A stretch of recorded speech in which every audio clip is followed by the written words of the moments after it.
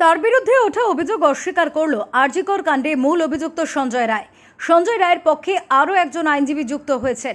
সেই কথা সঞ্জয় রায়কে জানানোর সময় শিয়ালদাহ আদালতের সঞ্জয় গোটা অভিযোগ অস্বীকার করে দাবি করে, আমি কিছু করিনি, ঘটনার বিষয়ে কিছু জানি না, আমাকে বলতে দিন, আমি না বলতে পারলে সব দোষ আমার উপরেই পড়বে।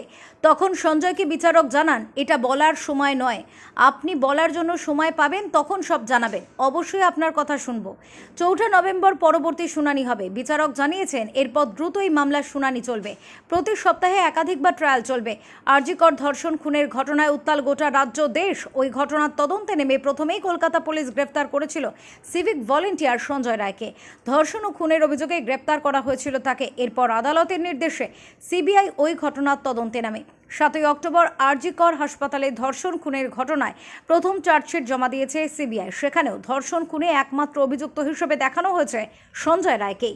Bureau report, Onkar Bangla.